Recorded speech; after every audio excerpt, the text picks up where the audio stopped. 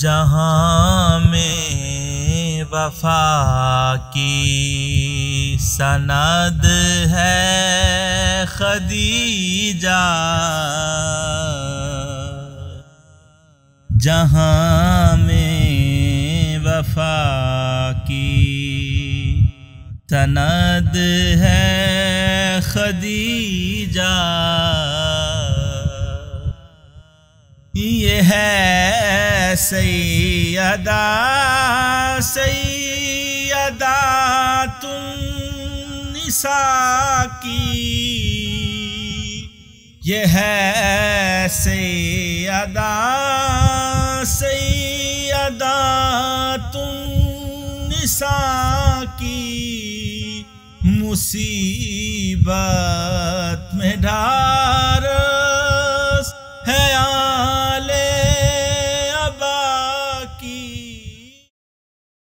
اعوذ باللہ من الشیطان الرجیم، بسم اللہ الرحمن الرحیم۔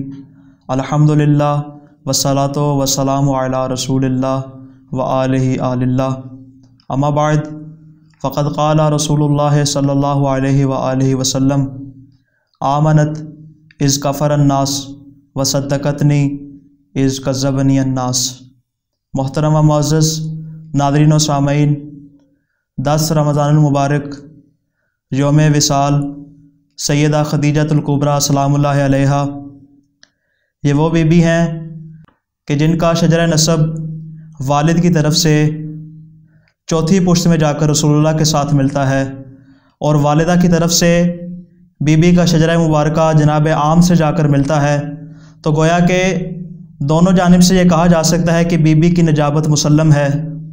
بچپن ہی سے بی بی میں بزرگی اور عفت کے آزار نمایاں تھے اور وہ زمانہ جو کہ جاہلیت کا زمانہ تھا اور تاریکی کا زمانہ تھا، اس زمانے میں بھی بی بی نے طاہرہ کا لقب پایا اور قریش کی عورتیں آپ کو سیدت النساء کہہ کے پکارتی تھیں۔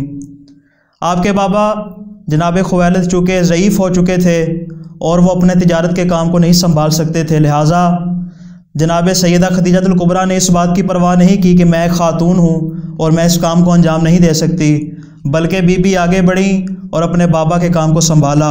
اور جب بی بی نے پورے مکہ میں اس بات کا چرچا سنا کہ حضرت رسول خدا صلی اللہ علیہ وسلم نے تجارت شروع کر دی ہے، تو بی بی نے اپنے غلام کے ذریعے پیغام پہنچایا کہ آپ میرا سامان تجارت لے کر ملک شام کی جانب جائیں۔ اور شام میں جو حالات پیش آئے آپ کے غلام جناب میسرہ نے وہ تمام حالات آپ کے گوش گزار کیے اور کہا جاتا ہے کہ بی بی نے ان حالات سے متاثر ہو کر اور رسول اللہ کی خوش اخلاقی سے متاثر ہو کر آپ کو شادی کا پیغام پہنچایا۔ جبکہ حقیقت حال اس کے برعکس ہے، وہ یہ ہے کہ در حقیقت یہ مقناطیسی جاذبیت اور اثر پایا جاتا تھا کہ جس نے رسول اللہ کو اپنی جانب مائل کیا۔ یعنی کہا جاتا ہے کہ جو انسان جس طرح کی عادات اور صفات اور خسائل رکھتا ہے، وہ اس طرح کے شخص کے ساتھ بیٹھتا ہے۔ وہ اسی طرح کے شخص کی صحبت اختیار کرتا ہے۔ بے عین ہی یہی صورتحال یہاں پر بھی تھی کہ بی بی کے اندر وہ تمام صفات موجود تھیں، جو کہ رسول اللہ کو ایک زوجہ کی حیثیت سے مطلوب تھی۔ بالآخر وہ خوشی کے لمحات آئے اور بی بی نے اس طرح رسول اللہ کو محبت دی اور پوری زندگی ساتھ دیا۔ کہ پوری زندگی بی بی نے کبھی شکایت کا موقع نہیں دیا اور رسول اللہ نے جناب خدیجۃ القبرہ سے اس طرح محبت کی کہ پوری زندگی گوارہ نہیں کیا کہ اپنی محبت کو جو جناب خدیجہ سے کرتے تھے وہ کسی اور کے ساتھ اس کو تقسیم کریں۔ لہٰذا یہ شادی ہوئی اور بی بی رسول اللہ کے عقد میں آئیں اور پوری زندگی بی بی نے کبھی بھی رسول اللہ کو شکایت کا موقع نہیں دیا۔ اس لیے کہ حضرت خدیجۃ القبرہ سلام اللہ علیہ رسول اللہ کی نبوت سے آشنا تھیں۔ وہ آپ کی رسالت کی عارف تھیں اور بی بی کا کردار وہ کردار تھا جو کہ رسول اللہ کو مطلوب تھا۔ اور جب آپ کے چچا زاد بھائی جناب ورقہ بن نوفل نے اس بات کی آپ کو بشارت دی کہ آپ کے ہونے والے شوہر پیغمبر خدا ہیں اور جب یہ بشارت بی بی نے سنی تو بی بی کا ہر روز روز عید ہونے لگا اور ہر رات شب برات ہونے لگی۔ شادی کے بعد بی بی نے جناب ورقہ بن نوفل کو پانچ سو دینار کا وہ لباس جو شام سے ان کے لیے لائے تھے وہ پیش کیا، مگر جناب ورقہ بن نوفل نے لینے سے انکار کر دیا اور کہا کہ اپنے شوہر سے کہیے گا کہ بروز قیامت میری شفاعت فرمائیے۔ علماء اور مفسرین اس کی علت یہ بیان کرتے ہیں کہ آخر کیوں خدا نے رسول اللہ کے لیے جناب ابو طالب، آخر خدا نے کیوں رسول اللہ کے لیے جناب خدیجت القبرہ سلام اللہ علیہ کا انتخاب کیا؟ تو اس کی علت یہی بیان کی جاتی ہے کہ جب رسول اللہ کی ولادت ہوئی تو آپ کی ولادت سے پہلے ہی آپ کے بابا جناب عبداللہ اس دنیا سے چلے گئے۔ اور ابھی کم سنی کے عالم میں تھے کہ آپ کی والدہ معظمہ جناب آمنہ بھی اس دنیا سے رخصت ہو گئیں۔ تو بچپن سے لے کر یہ پچیس سال کی عمر تک رسول اللہ کا جو زمانہ ہے، اس میں رسول اللہ نے نہایت ہی مشکلوں کے ساتھ اور مصیبتوں کے ساتھ وقت گزارا۔ تو خدا نے ان مصیبتوں کا مداوع کرنے کے لیے آپ کے لیے ایک ایسی زوجہ کا انتخاب کیا، جس نے آپ کے تمام غموں کو بلا دیا، آپ کی تمام پریشانیوں کو بھلا دیا اور آپ کی زندگی کو خوشیوں سے بھر دیا۔ حالانکہ دیگر ازواج بھی رسول اللہ کی زندگی میں آئیں اور جناب خدیجہ ایک ایسی ہستی ہیں کہ جو نہ صرف عارف رسول اللہ تھیں عارف نبوت تھیں بلکہ رسول اللہ کی ایک سچی محب اور عاشق تھیں اگرچہ دیگر ادواج نے بھی دعویٰ کیا اس بات کا کہ ہم رسول اللہ کی عاشق ہیں، مگر جناب خدیجۃ القبرہ سلام اللہ علیہ نے صرف اس بات کا دعویٰ نہیں کیا، بلکہ اس کو عملی کردار کر کے دکھایا۔ اب یہاں پر میں چاند ایک امتیازات بیان کرنا چاہوں گا جو جناب خدیجۃ القبرہ سلام اللہ علیہ کے دیگر ازواج کے ساتھ ہیں۔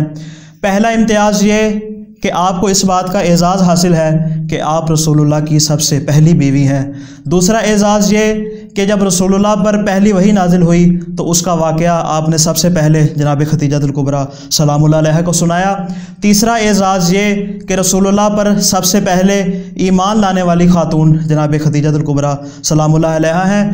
چوتھا اعزاز آپ کا یہ ہے کہ آپ نے سب سے پہلے رسول اللہ کی تصدیق کی اور اسی بات کو رسول اللہ بار بار یاد کرتے تھے جناب خدیجہ کی رحلت کے بعد۔ صدقت نہیں از قزہ بنی الناس کہ جب دوسرے لوگوں نے مجھے جٹلایا تو خدیجہ نے میری تصدیق کی۔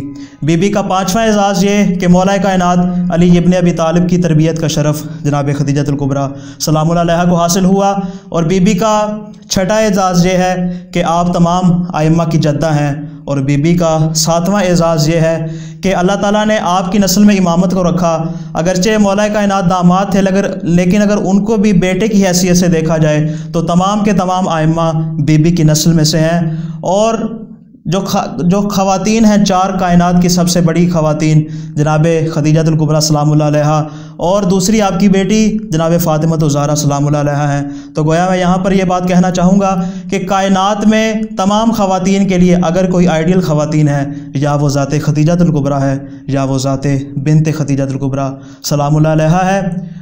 اب جیسے ہی جناب خدیجۃ القبرہ سلام اللہ علیہ کی دس رمضان المبارک کو وفات ہوتی ہے اور اسی سال میں حضرت ابو طالب علیہ السلام کی وفات بھی ہوتی ہے تو رسول اللہ اس قدر غمزدہ اور محضون ہوتے ہیں کہ اس سال کو آمن حزن کا نام دے دیتے ہیں۔ اور جناب خدیجہ القبرہ کی وفات کے بعد رسول اللہ اکثر اپنی زوجہ کو یاد کر کے رویا کرتے ہیں۔ تو ایک مرتبہ ام المومنین رسول اللہ کے پاس آتی ہیں اور کہتی ہیں، یا رسول اللہ، آپ خدیجہ کو یاد کر کے روتے ہیں۔ آپ حتیٰ کہ اس قدر خدیجہ کو یاد کرتے ہیں کہ گھر میں اگر کھانے کی کوئی چیز پکی ہو تو آپ کہتے ہیں کہ یہ فلاں کے گھر میں دے کے آؤ۔ اس لیے کہ وہ خدیجہ کی سہیلی تھی۔ آپ خدیجہ سے اس قدر محبت کیوں کرتے ہیں؟ وہ تو ایک ضعیف عورت تھی۔ وہ تو ایک بوڑھی خاتون تھی۔ دیکھیں، خدا نے اس کے بدلے میں آپ کو ایک خوبصورت اور حسین اور جوان زوجہ عطا کی ہے۔ تو رسول اللہ کو جلال آیا۔ چہرے کا رنگ متغیر ہوا۔ کہا کہ ختیجہ نے مجھے وہ دیا جو تم میں سے کوئی نہ دے سکی، کہ اور تم میں سے کسی کو بھی شرف نہیں بخشا کہ وہ نسل امامت کو اپنی نسل سے چلا سکیں۔ اس واقعے کا میں یہاں پر حوالہ پیش کر دوں۔ پہلا حوالہ ہے الاستیاب فی معرفت الاصحاب، جلد نمبر دو، صفحہ نمبر سات سو اڑتیس۔ ذکر ختیجہ مطبوعہ دار المعارف حیدرآباد دکن، دوسرا حوالہ المصدرک الصحیحین حاکم نشا پوری کی، جلد نمبر تین، صفحہ نمبر ایک سو پچاسی اور چھیاسی، اور تیسرا حوالہ الصابہ فی تمیز صحابہ جلد نمبر چار، صفحہ نمبر دو سو تراسی۔ دعا خلا کے دو عالم سے کہ اللہ تعالیٰ میں اس بات کی توفیق دے کہ ہم سیرت سیدہ خدیجہ القبرہ کا مطالعہ کر سکیں، اور اس کے ساتھ ساتھ ہمیں اس بات کی بھی توفیق دے کہ ہم اس پر عمر پیرا ہو سکیں۔ والسلام علیکم ورحمۃ اللہ وبرکاتہ۔ صداقت شرافت صداقت کا کوہ گرا ہے۔ امامت رسالت کی حد ہے۔ خدیجہ جہاں وفا کی سند ہے خدیجہ